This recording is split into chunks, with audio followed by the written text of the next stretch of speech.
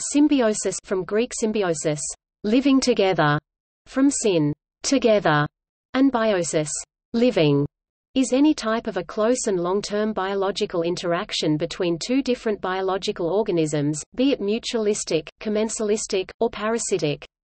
The organisms, each termed a symbiont, may be of the same or of different species.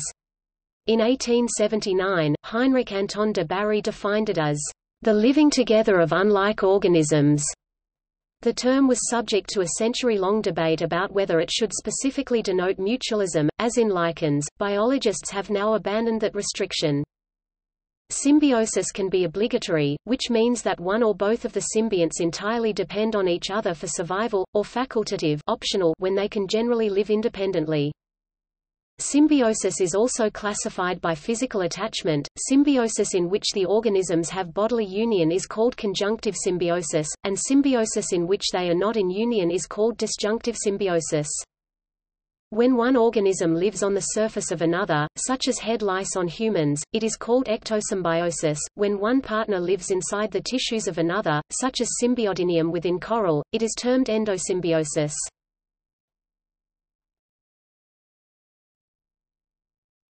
Topic: Definition. The definition of symbiosis was a matter of debate for 130 years. In 1877, Albert Bernhard Frank used the term symbiosis to describe the mutualistic relationship in lichens. In 1879, the German mycologist Heinrich Anton de Bary defined it as the living together of unlike organisms. The definition has varied among scientists, with some advocating that it should only refer to persistent mutualisms, while others thought it should apply to all persistent biological interactions, in other words mutualisms, commensalism, or parasitism, but excluding brief interactions such as predation. Current biology and ecology textbooks use the latter. De Bary definition, or an even broader one where symbiosis means all interspecific interactions. The restrictive definition where symbiosis means only mutualism is no longer used. In 1949, Edward Haskell proposed an integrative approach, proposing a classification of coactions, later adopted by biologists as interactions. Biological interactions can involve individuals of the same species intraspecific interactions or individuals of different species interspecific interactions. These can be further classified by either the mechanism of the interaction or the strength, duration and direction of their effects.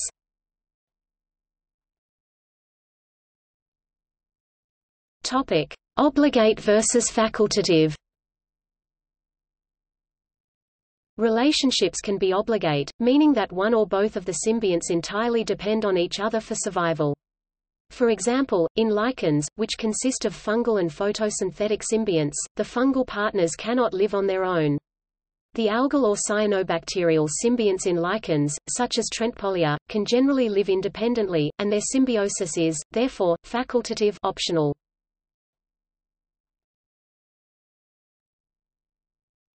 Topic: Physical interaction Endosymbiosis is any symbiotic relationship in which one symbiont lives within the tissues of the other, either within the cells or extracellularly. Examples include diverse microbiomes, rhizobia, nitrogen-fixing bacteria that live in root nodules on legume roots, actinomycete, nitrogen-fixing bacteria such as Frankia, which live in alder root nodules, single-celled algae inside reef-building corals, and bacterial endosymbionts that provide essential nutrients to about 10% to 15% of insects. Ectosymbiosis is any symbiotic relationship in which the symbiont lives on the body surface of the host, including the inner surface of the digestive tract or the ducts of exocrine glands. Examples of this include ectoparasites such as lice, commensal ectosymbionts such as the barnacles, which attach themselves to the jaw of baleen whales, and mutualist ectosymbionts such as cleaner fish.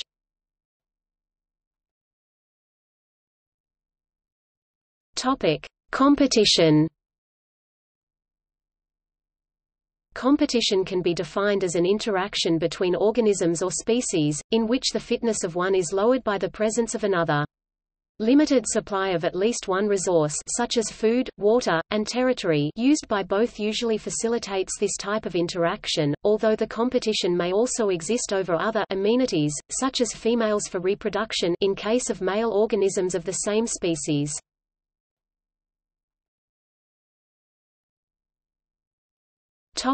Mutualism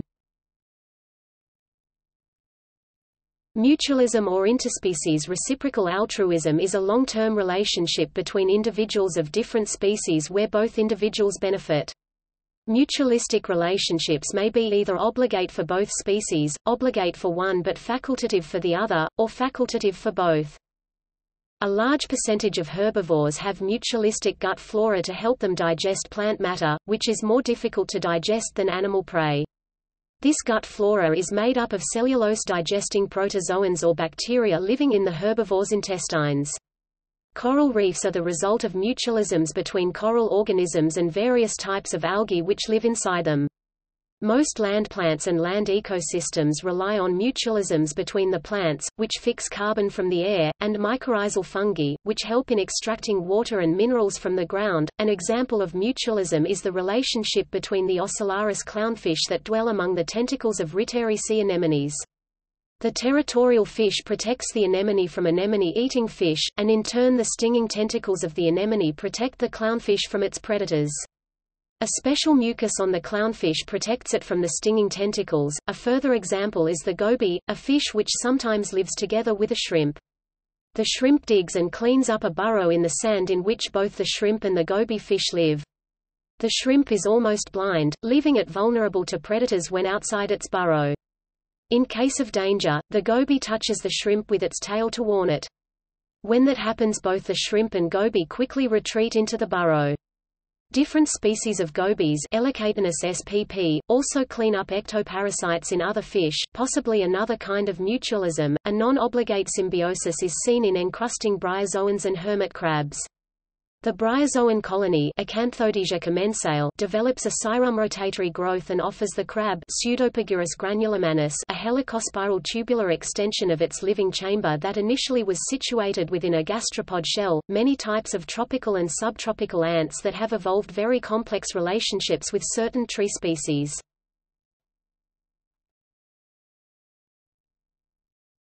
Topic: Endosymbiosis In endosymbiosis, the host cell lacks some of the nutrients which the endosymbiont provides. As a result, the host favors endosymbiont's growth processes within itself by producing some specialized cells. These cells affect the genetic composition of the host in order to regulate the increasing population of the endosymbionts and ensure that these genetic changes are passed on to the offspring via vertical transmission heredity. .A spectacular example of obligate mutualism is the relationship between the siboglinid tube worms and symbiotic bacteria that live at hydrothermal vents and cold seeps. The worm has no digestive tract and is wholly reliant on its internal symbionts for nutrition. The bacteria oxidize either hydrogen sulfide or methane, which the host supplies to them.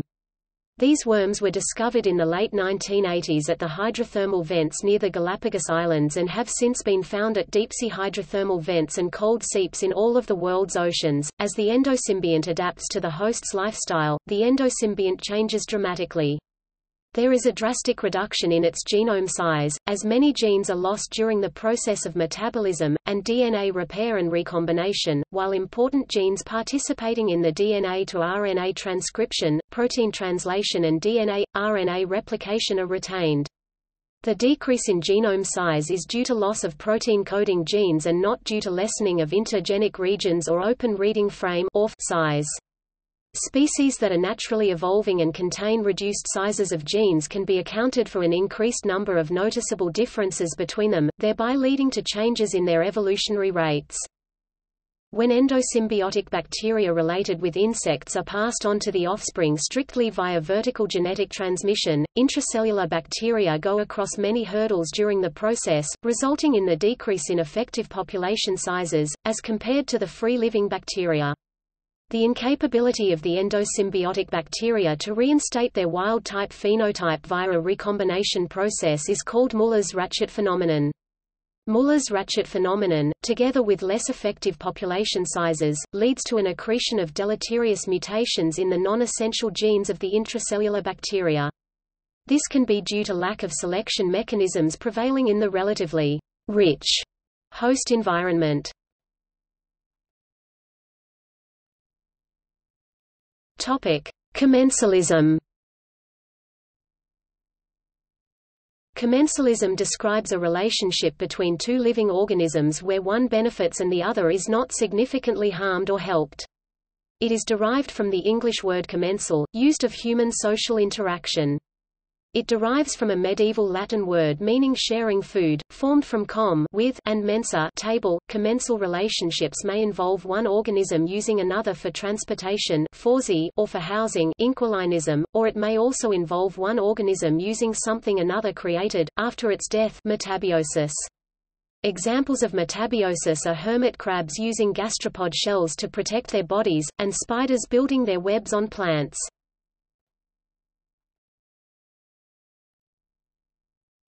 Topic: Parasitism. In a parasitic relationship, the parasite benefits while the host is harmed. Parasitism takes many forms, from endoparasites that live within the host's body to ectoparasites and parasitic castrators that live on its surface and micropredators like mosquitoes that visit intermittently. Parasitism is an extremely successful mode of life, as many as half of all animals have at least one parasitic phase in their life cycles, and it is also frequent in plants and fungi. Moreover, almost all free-living animal species are hosts to parasites, often of more than one species.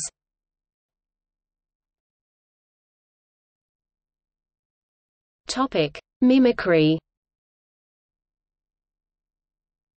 Mimicry is a form of symbiosis in which a species adopts distinct characteristics of another species to alter its relationship dynamic with the species being mimicked, to its own advantage.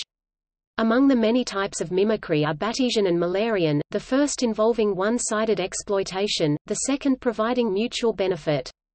Batesian mimicry is an exploitative three-party interaction where one species, the mimic, has evolved to mimic another, the model, to deceive a third, the dupe.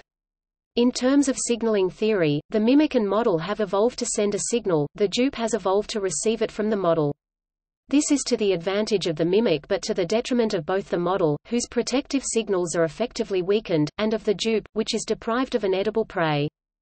For example, a wasp is a strongly defended model, which signals with its conspicuous black and yellow coloration that it is an unprofitable prey to predators such as birds which hunt by sight. Many hoverflies are Batesian mimics of wasps, and any bird that avoids these hoverflies is a dupe. In contrast, Mullerian mimicry is mutually beneficial as all participants are both models and mimics. For example, different species of bumblebee mimic each other, with similar warning coloration in combinations of black, white, red, and yellow, and all of them benefit from the relationship.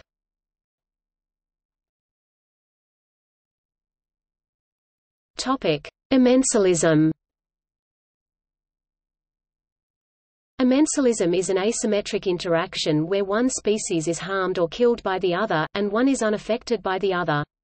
There are two types of amensalism, competition and antagonism or antibiosis. Competition is where a larger or stronger organism deprives a smaller or weaker one from a resource.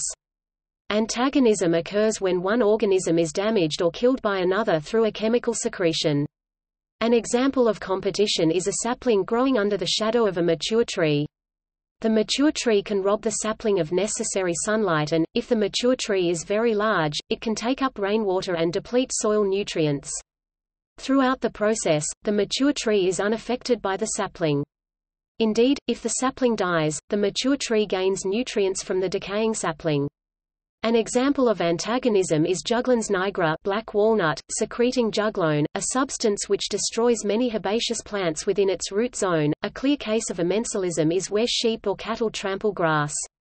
Whilst the presence of the grass causes negligible detrimental effects to the animal's hoof, the grass suffers from being crushed. Amensalism is often used to describe strongly asymmetrical competitive interactions, such as has been observed between the Spanish ibex and weevils of the genus Thamassia which feed upon the same type of shrub. Whilst the presence of the weevil has almost no influence on food availability, the presence of ibex has an enormous detrimental effect on weevil numbers, as they consume significant quantities of plant matter and incidentally ingest the weevils upon it.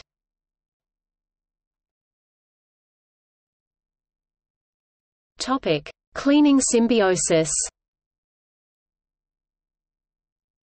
Cleaning symbiosis is an association between individuals of two species, where one the cleaner removes and eats parasites and other materials from the surface of the other the client. It is putatively mutually beneficial, but biologists have long debated whether it is mutual selfishness, or simply exploitative. Cleaning symbiosis is well known among marine fish, where some small species of cleaner fish, notably wrasses but also species in other genera, are specialized to feed almost exclusively by cleaning larger fish and other marine animals.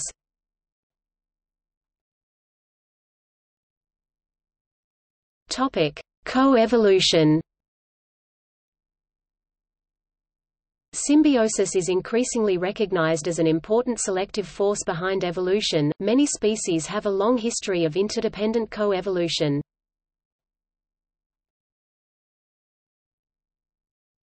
Topic: Symbiogenesis.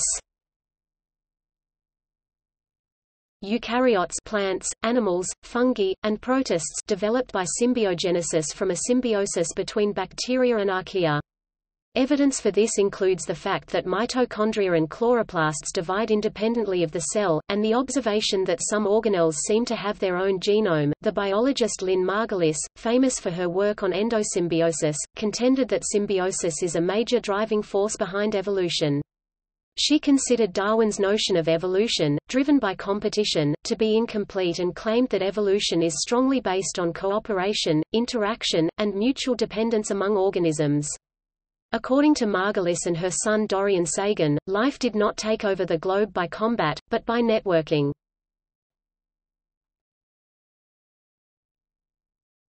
Topic: Co-evolutionary relationships.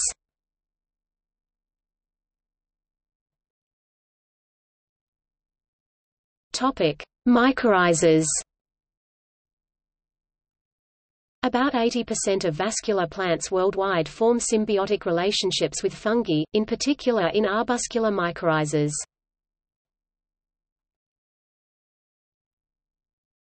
Topic: Pollination. Flowering plants and the animals that pollinate them have co-evolved. Many plants that are pollinated by insects in entomophily, bats, or birds in ornithophily have highly specialized flowers modified to promote pollination by a specific pollinator that is correspondingly adapted. The first flowering plants in the fossil record had relatively simple flowers. Adaptive speciation quickly gave rise to many diverse groups of plants, and, at the same time, corresponding speciation occurred in certain insect groups. Some groups of plants developed nectar and large sticky pollen, while insects evolved more specialized morphologies to access and collect these rich food sources. In some taxa of plants and insects, the relationship has become dependent, where the plant species can only be pollinated by one species of insect.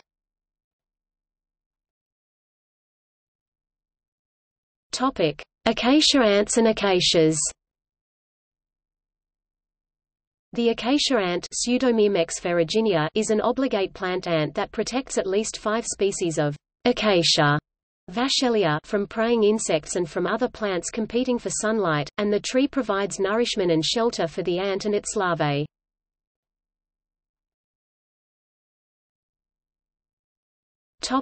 See also